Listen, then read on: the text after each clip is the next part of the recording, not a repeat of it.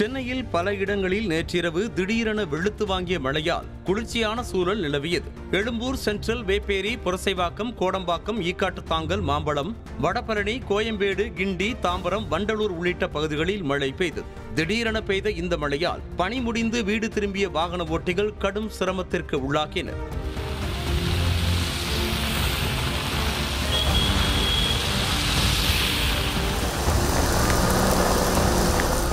போல சென்னை புறநகர் சுற்றுவட்டார பகுதிகளில் பரவலாக மழை பெய்தது. குறிப்பாக பூந்தமல்லி நெற்குன்றம் மதுரவாயல் ஆழ்வார் திருநகர் வளசரவாக்கம் ராமாபுரம் ஆலப்பாக்கம் உள்ளிட்ட பகுதிகளில் காற்றுடன் சாரல் மழை பெய்தது.